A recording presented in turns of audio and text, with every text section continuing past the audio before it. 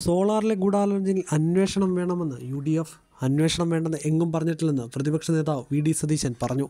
അതിനെക്കുറിച്ച് C B I അന്വേഷണം വേണമെന്നാണ് യു ഡി എഫിന്റെ എക്കാലത്തെയും ആവശ്യം. ക്രിമിനൽ ഗൂഢാലോചനയിൽ മുഖ്യമന്ത്രി പിണറായി വിജയനാണ് ഒന്നാം പ്രതി. അന്വേഷണത്തിൽ ഒരു ഭയവുമില്ലെന്നും സതീശൻ പറഞ്ഞു. വിഷയം സംസ്ഥാന ഏജൻസി അന്വേഷിക്കേണ്ടെന്നും സി ബി ഐ അന്വേഷിച്ചില്ലെങ്കിൽ നിയമവഴി തേടുമെന്നും അദ്ദേഹം കൂട്ടിച്ചേർത്തു. യു ഡി എഫിനെതിരെ ഒരു പരാമർശവും സി ബി ഐ റിപ്പോർട്ടിൽ ഇല്ലെന്നും വി ഡി സതീശൻ പറഞ്ഞു. പിണറായി വിജയൻ നന്ദകുമാറിനെ കണ്ടോ എന്ന് ഇനി പറയേണ്ടത് അദ്ദേഹം തന്നെയാണ്. ദല്ലാൽ പറയുന്നത് എങ്ങനെ മുഖവിലക്കെടുക്കും? രണ്ട് കോൺഗ്രസ് ആഭ്യന്തരമന്ത്രിമാർ ഇടപെട്ടു എന്ന് നന്ദകുമാർ ഇന്നലെ പറഞ്ഞത് മുഖ്യമന്ത്രി രക്ഷിക്കാൻ വേണ്ടിയാണെന്നും പ്രതിപക്ഷ നേതാവ് തുറന്നടിച്ചു. പിണറായി വിജയൻ ഗെറ്റ് ഔട്ട് അടിച്ച ആളുടെ വീട്ടിൽ ഇ പി ജയരാജൻ എന്തിനാണ് പോയതെന്നും പി ഡി സതീശൻ ചോദിച്ചു.